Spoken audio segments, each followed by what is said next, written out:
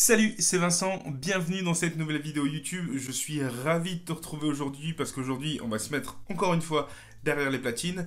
La semaine dernière, j'avais donné quelques conseils, quelques tuyaux pour que tu puisses caler ton morceau. On avait travaillé le calage au tempo de façon à ce que tu puisses le caler facilement, rapidement et quasiment tout de suite à la perfection. Donc je t'invite à aller voir la vidéo si jamais tu l'as pas vu, le lien s'affiche ici. Aujourd'hui, on va travailler sur une transition pour comment passer correctement d'un morceau A à un morceau B de façon homogène. Si c'est pas encore fait, juste avant de démarrer ce tuto, eh bien je t'invite à t'abonner à la chaîne et également à me laisser un commentaire et me dire si ce type de vidéo te plaît. J'ai fait énormément de vidéos sur comment développer ton business de DJ, comment trouver des clients et comment vendre ses prestations. Là, on est plus sur de la partie technique, donc dis-moi si ce format te plaît et si ce format te plaît, peut-être que je ferai plus de vidéos encore dans ce type-là. Donc dis-moi ça dans les commentaires. On est parti tout de suite pour le tuto. Let's go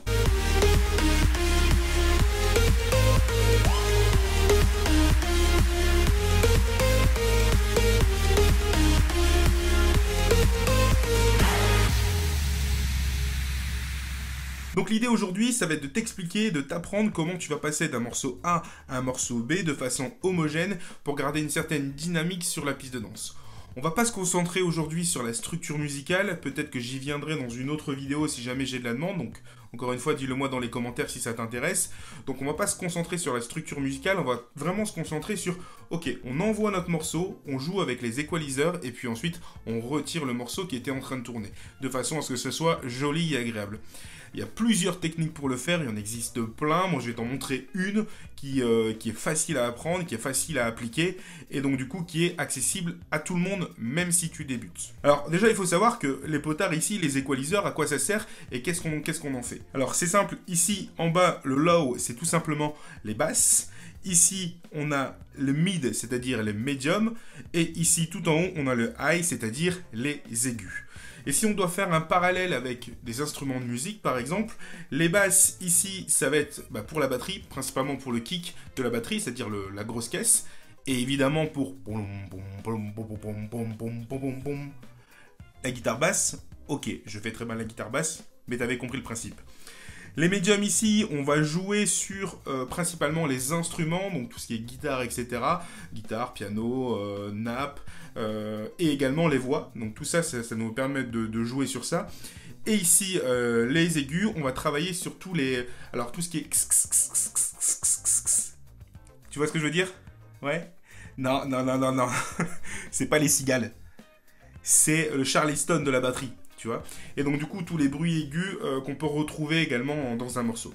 Donc ces potards ils sont pas là pour faire beau, ils ont vraiment une vraie utilité et tous les DJ les utilisent que tu mixes sur un contrôleur avec deux decks, avec quatre decks, avec 8 decks ou que tu mixes avec des vinyles, ce sera exactement la même chose. Toujours pareil, les basses, les médiums et les aigus. Et l'idée, elle est simple, c'est de toujours avoir tes potards à midi. Tu vois euh, le, petit, le petit trait blanc ici bah, L'idée, c'est de l'avoir à midi. Donc, je te rappelle, si tu peux lire l'heure, on va dire que ça, c'est 9h, euh, 10h, midi, 14h, euh, 15h, tu vois. Reste, on s'en fout, on n'en a pas besoin. Donc l'idée, c'est vraiment d'avoir tes potards à midi. Je vais d'abord t'expliquer la transition de façon la plus simple euh, pour que tu puisses vraiment la retranscrire.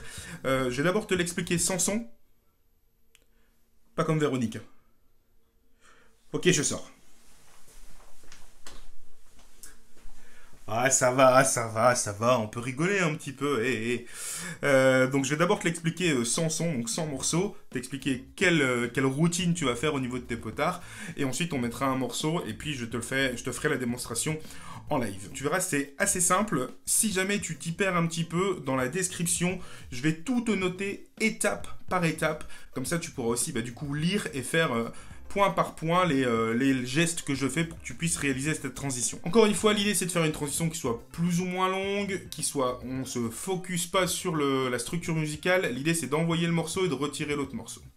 Alors, ce qu'on va faire, c'est que on va avoir un premier morceau qui va jouer, qui va être en train de jouer dans notre deck A.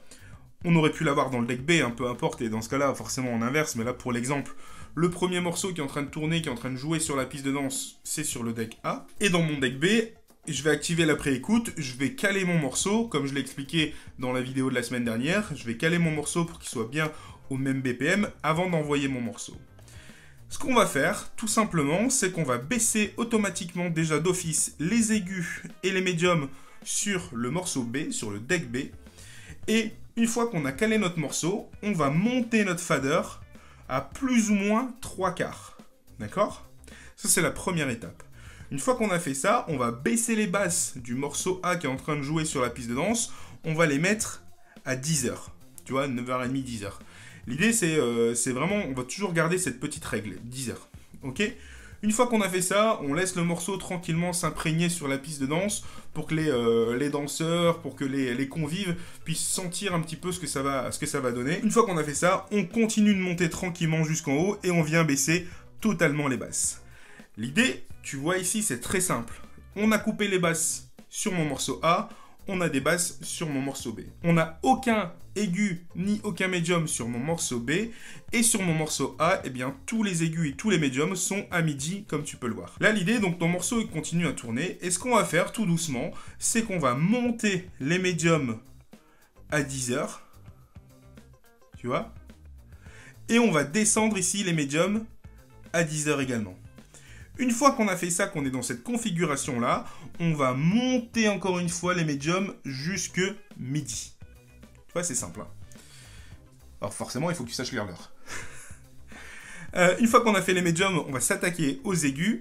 Et dans, dans le même esprit, on va monter les aigus à 10 heures. De l'autre côté, on va baisser les aigus à 10 heures également. Et ensuite, on va monter les aigus à midi. Et tranquillement, on va pouvoir descendre notre fader pour avoir uniquement notre morceau B qui a repris le relais sur la piste de danse. Donc tu vois, c'est une transition qui est assez simple au final euh, à mettre en place. Tu verras que euh, c'est pas très compliqué et avec de l'entraînement, tu vas vite y arriver. Donc je te le refais rapidement. On a notre morceau A qui est en train de tourner. Le morceau B, on le cale, on le met à tempo avec le pitch, etc. comme je te l'ai déjà expliqué. On baisse les médiums et les aigus à fond. On envoie le play, on monte le fader jusqu'à plus ou moins 3 quarts de son volume. Ensuite, on va baisser les basses ici à plus ou moins 10 heures. Une fois qu'on a fait ça, on continue de monter à fond le fader et dans le même temps, donc on continue de monter et dans le même temps, je vais baisser complètement les basses. Je vais couper complètement les basses pour avoir qu'une seule ligne de basse qui tourne. Ensuite, je vais monter à 10 heures mes médiums, je vais les baisser à 10 heures de l'autre côté, et une fois que c'est fait, je les monte à midi sur mon morceau que je suis en train d'envoyer, et je fais la même chose pour les aigus, je les monte à 10 heures, et je les baisse également ici à 10 heures pour monter ici à midi sur le morceau que je suis en train d'envoyer, et comme ça, je peux couper tranquillement mon fader, et tu verras que ça va faire une transition qui est assez sympa et assez jolie. Yeah! Est-ce que t'as compris, mon ami? Ça me semble pas très compliqué, donc tu prends ta platine, tu fais les potards, etc. Encore une fois, si t'as rien pigé, je te mets tout point par point dans la description. Et là, ce qu'on va faire, c'est que bah, du coup, je vais te le faire avec un morceau. Ça sera peut-être plus parlant aussi pour toi. Ok, je prends mon fameux casque parce que c'est à ça que ça sert quand t'es DJ. Bah, il faut un casque.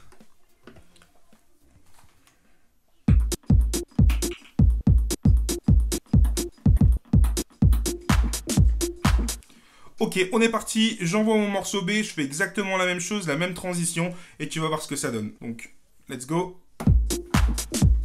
J'envoie mon morceau B, je le recale si nécessaire. Je coupe les médiums, les basses, je monte aux trois quarts. Les basses à 10 heures. Je continue de monter les basses et je les coupe complètement. Je m'attaque au médium, 10 heures.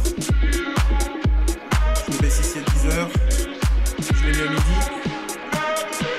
Je m'attaque aux aigus à 10h. Je les baisse ici. Je les monte et je baisse mon fader. Donc tu vois, il n'y a rien de bien compliqué. Et là, mon morceau B, il tourne tranquillement euh, sur la piste de danse. Donc tu vois, il n'y a rien de bien compliqué. Je le refais du coup cette fois-ci euh, sans parler, vraiment pour que tu puisses vraiment voir les, transitions. Donc là, je, je me tais et je me concentre uniquement sur mes mains.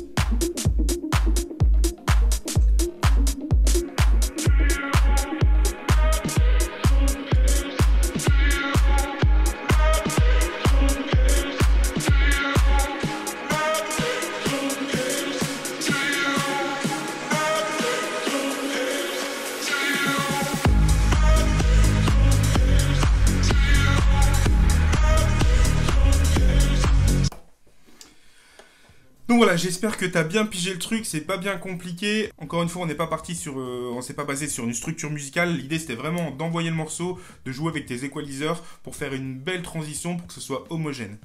Donc je t'invite vraiment à faire ce, type de, travail. Dis-moi si ça te plaît ce type de vidéo dans les commentaires, si tu veux que je te, présente encore d'autres choses. Et si tu veux aller plus loin mon ami, si encore tu veux développer tes techniques de mix, j'ai créé une formation avec 20 techniques de mix pour passer d'un DJ amateur à un DJ pro. 20 techniques de mix que j'utilise moi tous les week-ends dans mon business, qui vont te permettre bah, de faire des choses complètement différentes, de ne pas toujours faire les mêmes transitions, de varier tes transitions, d'avoir des techniques de mix professionnelles pour dynamiser ta piste de danse, pour mettre le feu sur la piste de danse. Donc si ça t'intéresse, il y a un lien qui est dans la description. Et petit teaser, sur le lien, il y a un petit cadeau. je peux pas en dire plus.